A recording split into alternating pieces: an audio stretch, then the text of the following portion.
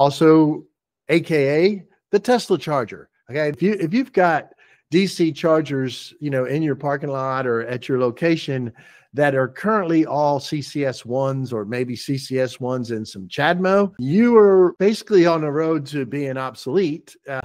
if you're not careful, right? So they're going to stop coming to your location, and plus you're you've you've automatically eliminated every Tesla vehicle out there. So if you have DC fast chargers with CCS ones and CHAdeMOs, you need to start thinking about what you can do with that, right?